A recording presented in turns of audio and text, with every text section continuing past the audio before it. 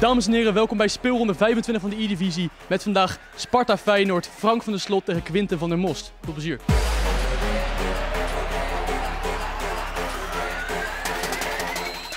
Ja, dames en heren, welkom bij de E-divisie. En vandaag hebben we een bijzondere wedstrijd. We hebben hier vandaag de derby van Rotterdam. Sparta tegen Feyenoord. Frank van der Slot tegen Quinten van der Most. En eh, zoals gebruikelijk, u heeft het al vaker gezien, de standaard wisseltjes aan het begin. Waarbij even de instructies worden gefine-tuned. En eh, de nodige spelers worden ingebracht of eruit gehaald. En ehm, ja, we zijn toch wel klaar voor een leuke wedstrijd, denk ik. Sparta op zes puntjes. Die hebben toch nog wel een inhaalslagje te maken in de competitie. Feyenoord een stukje erboven, maar goed. Zegt natuurlijk niks. Alles kan vandaag nog gaan gebeuren. En natuurlijk een derby altijd een bijzonder gevoel. We zien dat uh, één speler speelt met uh, een koptelefoon op. Dus als we een grap over het uiterlijk gaan maken, weten we over wie het gaat gebeuren. En we zijn begonnen. We beginnen hier met, uh, met Feyenoord aan het balletje. Kyle Walker op die rechtervleugel. En ja, natuurlijk een wereldteam Legends. Vieira zie ik daar lopen. Ruud Gullit heb ik al gezien. Best, als ik mijn, mijn ogen mag geloven. Hier is hij aan het balletje. Die gaat Gullit. We hebben misschien wat ruimte hier op Bill. Die blijft ook aan de bal. Ronaldo kan ook wat van, heb ik gehoord. En meteen een goal, meteen een goal. Wat een goal zeg!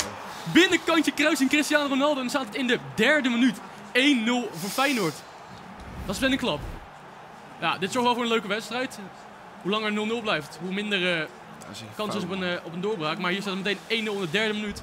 En dan mag Sparta meteen aan de bak voor die uh, gelijkmaker. Wat een goede goal trouwens zeg. Ronaldo met het rechterbeen.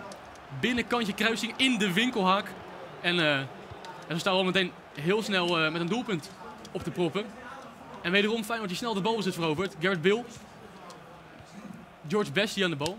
Ronaldo, de doelpuntenmaker. Terug naar George Best. En weer terug naar Ronaldo. En daar kan de keeper rustig oppakken. Manuel Neuer. Hier de bal. Op Luis Suarez. Luis Suarez, ja. Ik heb wel eens beter geschoten gezien, maar je weet het nooit hè. Je kan dat proberen. Kyle Walker weer de rond, Feyenoord aan die bal.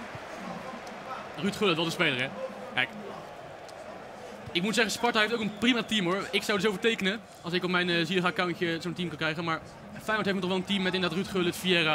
Dat is wel echt ongekend. Dat kan misschien het verschil gaan maken. Maar je weet het nooit. Hier is Sparta bijvoorbeeld aan de bal. Uitverdedigen gaat prima. Had je terug inderdaad op Neymar. Oh, die levert wel vervolgens in, maar zonder gevolgen volgens nog. Zanetti, een leenspeler Zanetti. Ja, die leenspelers worden ook gebruikt, zoals je ziet. Dat zijn tactische troeven. Hier is uh, Garrett Bill weer aan de bal op Pogba. George Best langs dat zijkantje gezocht. Garrett Bill komt daar misschien met een voorzet. Nee, die gaat naar binnen en dat is niet de beste keuze. Jeroen Boateng staat daar, een monster achterin. Fellaini. Wordt hier gespeeld met Fellaini, dames en heren. Dat vind ik een uh, bijzondere speler. Hier de bal op Neymar. En die verliest dan weer Feyenoord toch heel snel meteen weer die balverovering. Zodra Sparta ook maar een beetje aanspraak lijkt te maken op een kans überhaupt. Meteen die bal veroveren. Hier schuld met een longshot. En die pakt de keeper goed. Hoekschop is het gevolg. En die hoekschop gaat hier genomen worden. Roberto Carlos. En wederom een hoekschopje. Hij mag hem overdoen. Ruudje Gullit, kort. Roberto, Roberto Carlos. Die gaat terug op Gullit. Die bal komt eigenlijk bij een ingooi aan. En uh, ik weet niet of je daar heel blij mee moet zijn als je een corner had. En het wordt uiteindelijk een ingooi. Maar goed, hier Schullet. Die gaat die zijkant opzoeken. Je probeert gewoon rustig nog een keer met die voorzetten. En ook nu zonder succes. Hoewel hij krijgt die bal terug van Zanetti. Zanetti denkt, ik gun het balletje gewoon terug. En die lage voorzet belandt in de voeten van de verdediger. Het uitverdedigen gaat hier maar net goed. Maar uiteindelijk is hier toch David Alaba die misschien de eerste Sparta-aanval mag gaan inleiden. Verleni aan de bal met de wilrige haardos. Herkenbaar als geen ander. Hier Neymar. En die komt de bal aan bij Garrett Bill. Die Garrett Bill die verliest daar de bal. Maar dat was wel voor het eerst richting de 16 van, uh, van Quinten van Feyenoord. En hier vervolgens Vieira over die zijkant. je terug naar Kyle Walker. Ruud Gullit, kijk, dat middenveld kan toch het verschil gaan maken. Vieira, Gullit, Pogba. Dan heb je gewoon echt een bloeddorstig, monsterlijk middenveld. Hier dan die omschakeling en wederom ah. onderschept Feyenoord hem razendsnel. Hier Sparta tussen, goed verdedigd. En die bal terug op Manuel Neuer. Uiteraard prima op Luka Modric. En nu kan de Spartaan gaan beginnen aan de aanval, zou je denken. Maar hier is Roberto Carlos alweer. En we, we hebben het natuurlijk over dat middenveld de hele tijd. Maar achterin heb je ook gewoon Boateng, Roberto Carlos, Walker staan. Dus niet zomaar de eerste beste verdediging. Het team is goed in elkaar. Walker langs de zijkant. wordt er helemaal rust gelaten. Hier terug op Ronaldo. Ronaldo wat ruimte. Ronaldo terug op Gullit. Legt hem op Vieira. En hier kans voor Bill. Langs de zijkant nog steeds aan het balletje. Ruud Gullit hier. Ruud Gullit blijft een beetje dolle met zijn man. Langs die zijkant gezocht. Gaat hij voor de voorzet gaat hij naar binnen kappen? Dan lijkt hij naar binnen te gaan. Balletje terug op Kyle Walker. Die toch ook een goed schot in de benen. Onderschat het vooral niet. Die kan met die tweede lijn zomaar gaan vuren. Hier weer een ingooi. En dan eh, mag Quinten toch gaan proberen die 2-0 te gaan forceren. Want 1-0 is een lekkere stand, maar altijd gevaarlijk. Je weet het nooit. Er hoeft maar één omslag niet te komen. Hier is Kyle Walker bijvoorbeeld. Die in een bal door. En daar is geen 2-0. Wat een kans zeg. Manuel Neuer pakt hem hier misschien alsnog. Wederom niet. Nee. Uitverdedigd hier door Sparta. Dit was toch een kans de 2-0. Ja, ongelooflijk groot. De 2-0 had hij misschien gemaakt moeten worden. En eh, hij blijft er gewoon doorgaan. Hij mist een kans, maar dat weerhoudt hem niet van die aanval blijven opzoeken. Dit wordt een doeltrap gewoon. Ja, Vieira, de laatste man die hem aanraakte. En dan kan Sparta hier gaan proberen een beetje onder druk uit te komen. Want volgens nog is het eenrichtingsverkeer. En wederom snel die bal bij Feyenoord. Ruud Gullit hier. Over Feyenoord gesproken, Ruud Gullit. Mooi dat hij dan zo op deze manier terugkomt in het oude shirt. Roberto Carlos langs de zijkant. Is, als ik me herinneringen goed bij heb gehouden, nooit Feyenoord gespeeld. Was maar zo'n feest. Hier is Vieira niet en hier dan Feyenoord. Luka Modric. Nu dan een keer een fatsoenlijke aanval en misschien een kans. En daar misschien tegelijk maken. Hier komt Garrett Bill aan. Die komt niet langs die Kyle Walker. Kyle Walker is niet langzaam. Bill natuurlijk ook niet. Maar hier is toch gewoon een doeltrap voor Feyenoord. En moet Sparta toch na 40 minuutjes wel even gaan nadenken over de eerste ja, doelpunt sowieso natuurlijk. Maar eerste echte gigantische doelkans. Dat zou wel lekker meegenomen zijn. Hier dan misschien. Hier gaat Bill langs de zijkant. Die er volgens nog goed uit. Geeft die bal voor lijkt het wel. Of Gaat hij? Nee, hij gaat toch weer naar binnen. En dat is niet helemaal soepeltjes uitgepakt. Hier komt Feyenoord dan vlak voor rust. Met een omschakeling wil ik zeggen. Maar hier is Sparta. En Sparta wordt daar voorzien van een hoekschop. En die hoekschop kan altijd gevaar uitkomen. Dit nu even niet. Hoewel die bal hier wordt opgepikt door Luka Modric. Rio Ferdinand. Die gaat voorzetten. Die wil daar liever hebben koppen. Maar hier komt ook een bal aan die de keeper goed verwerkt. En er komt de ingooi aan voor Sparta op een toch wel vrij gevaarlijke plek, zou ik zo zeggen. Vidal, balje Nee, aan, dat is zonde, dat is zonde. En hier is dan ruimte. Die bal komt niet aan. Prima terugspot op de keeper. Hier leek Sparta voor het eerst een beetje te gaan pushen op het, eh, op het doel van, eh, van Quinten. Een hoekschopje en een ingooi op een gevaarlijke plek. Maar eh volgens nog geen concrete doelkansen. Hier dan misschien Luca Modis weer, die altijd op het middenveld te vinden is. En dan is het rust en dan staat het 1-0 voor Feyenoord. Eh, het begon eenzijdig, vooral Feyenoord die het balbezit heeft en de druk opvoert. Laatste paar minuten voor rust nog even een paar Sparta-pogingen. Volgens nog één doelpuntje, niet ongelooflijk kansen. Er gaan wat wissels gedaan worden. Alles. Lijkt het wel.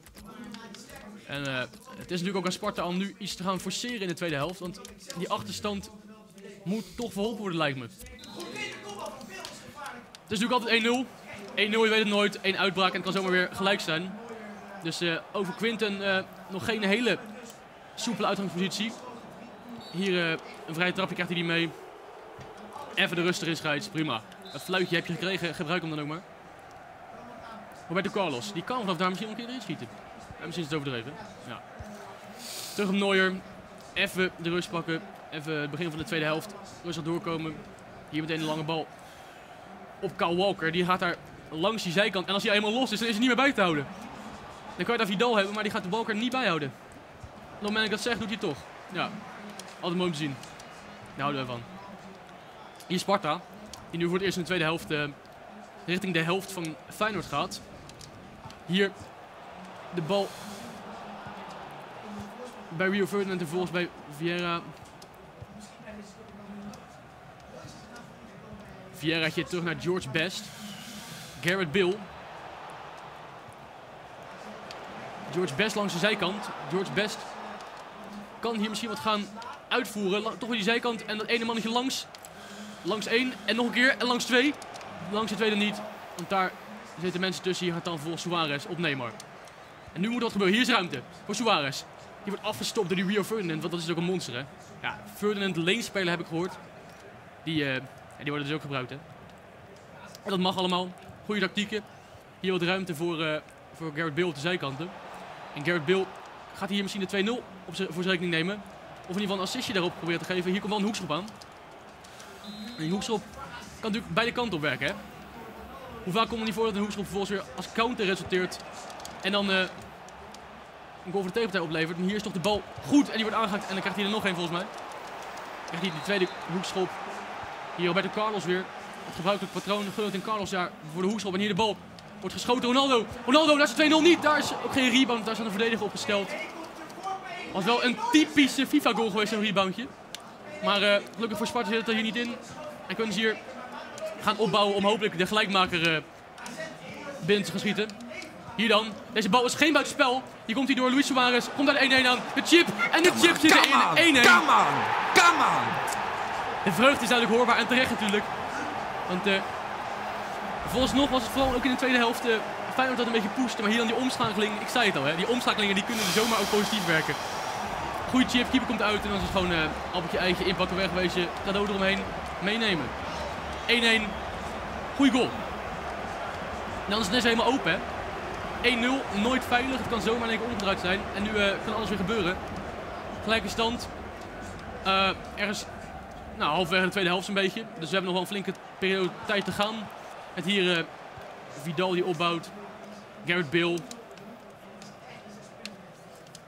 Garrett Bill even rustig. Dus kijk, hoe ga je om met zo'n gelijkmaker? Ga je dan door voor die 2-1? Of denk je nou, is goed zo, volgens nog lijkt hij dan die 2-1 te gaan pushen. Hier komt dan misschien dat kansje aan. Hier is Vidal. Die gaat een keer schieten. En die wordt opgepikt hier door Pogba. Even oppassen met uitverdedigen. En uh, dat lijkt goed prima te gaan. Hoewel die kopbal hier komt. Het uitverdedigen is altijd een risicootje. En hier komt hij. Niet aan. Hier is namelijk Gult gewoon weer aan de bal.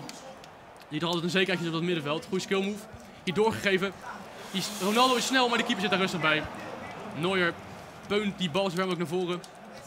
En die wordt opgepikt door wederom Ruud Gullit. Altijd aanwezig. Ik zeg het nog maar een keer mensen. Ruud Gullit, als je de coins hebt, koop hem vooral. Dit is een kansje. Ronaldo. Ronaldo. Met een skill move, Ronaldo. En dat zou een mooie goal kunnen worden, maar nee, goed tegen de Rio Ferdinand. Neymar aan de bal. Die levert hem in bij Vidal hier, Bill. En uh, met nog ongeveer een kwartiertje te spelen, iets langer misschien met blessuretijd erbij. Lijken we hier toch op een, uh, een mooi te moeten gaan, want alles kan nog. Er is geen, uh, geen, geen antwoord te geven op de vraag wie hier gaat winnen. Hier dan Neymar weer. Neymar die dan toch voor Sparta ook misschien gaat pushen. Dat zou een comeback zijn hè, mensen. Dat zou een comeback zijn als Sparta hier nu toch met de overwinning vandoor gaat. Alaba met de voorzet. Er komt daar iets aan, er komt niks aan. Hoewel is hij toch in de rebound is hier Verleni zelfs nog. Ja, dat is toch niet de speler die je daar dan wil hebben. Hier de bal een beetje paniek echt naar voren gespeeld. En Sparta die toch die druk een beetje opvoert. Balletje terug op Neuer. En uh, ja, heeft natuurlijk Capriole in huis. Maar goed, hier doet hij rustig aan. Bal niet ingeleverd. Zag er even een beetje paniekerig uit, maar pakt allemaal goed uit. Hier balletje terug naar Verleni. Hier toch, toch mijn verbazing prima doet deze wedstrijd. Nee, maar door op Modric. En die zijkant gezocht met Zanetti.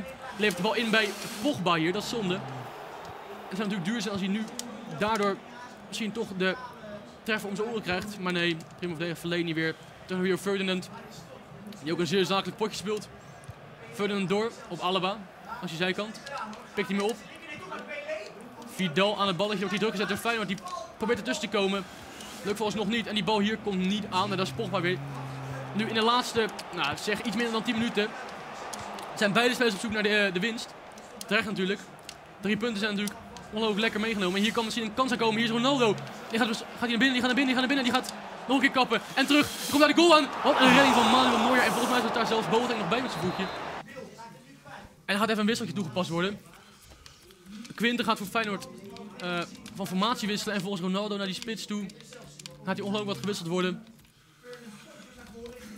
Gullit wat naar voren geschoven en wat meer aanvallende rol. En Pogba er zelfs uit voor Arjen Robben. Komt een Nederlander in. Toch maar niet. En ook bij Sparta gaan de wissels gebeuren. Vijf verdedigers zie ik daar. Hij lijkt dan toch... Ja, hij lijkt dan genoeg te nemen met die 1-1. Dat weet je niet van tevoren. Die vijf uit de back kan ook positief uitpakken voor de aanvallen. Moussa zelfs in Jamie Vardy. Er gaat op pace gespeeld worden en dat zie ik altijd graag. Counteren geblazen. Counteren geblazen. Dan kijken of dat uh, voor een van de spelers positief uitpakt, deze wisselingen. Hier komt allereerst een hoekschop aan voor Feyenoord. En daar kan al meteen een gevaar uitkomen, zo'n hoekschop. Onthoud het goed, hè. zowel voor Sparta kan dit een uh, mooie positie zijn, want een hoekschop is ook een mooie counterpositie. Hier bijvoorbeeld, die gaan ze die omschakeling proberen uit te voeren. Dat lukt niet. Hier is namelijk George Best aan de bal. George Nee, Best aan de bal. En George Best Nee, joh. die schiet hem even in in de 88 minuut, dames en heren. En dan denk ik dat het hier klaar is. Meteen gaan ook de vijf verdedigers ingezet worden hier. Ja, dit is een ongelooflijke klap. Het zou natuurlijk ongelooflijk knap zijn als hier Sparta nog terug kan komen naar een 2-2. Maar het lijkt er niet in te zitten. Dit lijkt de beslissing. Wat een goal van George Nee, Best. man. Twee van die prachtige goals. Twee van die prachtige goals. Die eerste natuurlijk van Ronaldo was schitterend. En ook deze van George Best. Hard de winkelhaak in. En ja, hier kan je ook niet heel van doen. Die bal valt daar. George Best natuurlijk een legend van 90 algemeen. En dan, eh, ja, dan is het gewoon, eh, is het schieten en eh, ja, meenemen die goal. George Best en Ronaldo doen je dan toch de das om. Dus in de 88e minuut toch de 2-1. Beide spelers forceerden wat met wisselingen. Sparta ging naar 5 at the back. Ging voor die counter. Dat is duur komen te staan, want hier is dan toch de 2-1 voor Feyenoord. En dan heeft Sparta nog een paar minuutjes om misschien dat puntje toch nog te pakken. We gaan kijken wat ze gaan doen. We moeten natuurlijk nu alles of niks gaan. Alles riskeren om hopelijk die 2-2 mee te pikken voor Sparta dan. Wat een goal is dit zeg. En wat een moment ook, 88 minuut. Hier net die Walker. Die de bal maar gewoon naar voren peunt. Groot gelijk heb je. 2 en voor. In de 90 minuut, 3 minuutjes blessuretijd. 3 minuten kan veel in gebeuren. Maar dan moet het wel wat gaan gebeuren. En dit is een bal, ja. Daar eh schrijf je niet over naar huis. Dit soort ballen kan een keer werken, maar op dit moment in de wedstrijd niet echt heel handig. Hier dan misschien zelfs een kans op de 3-1. 3-1 zou natuurlijk helemaal over en uit zijn. Goed verdedigd. Hier dan misschien de allerlaatste aanval. Gaat de scheids nog goed vinden. Scheids, dat fluitje heeft hij in zijn hand. Maar hij wacht er nog heel veel, mij lijkt het wel. En dan is het toch afgelopen. Mooi pot gezien. De derby van Rotterdam wordt beslist in de 88e minuut. 2-1 voor Feyenoord. Quinten wint die van, van Frank. Nog weg. Oh mijn god.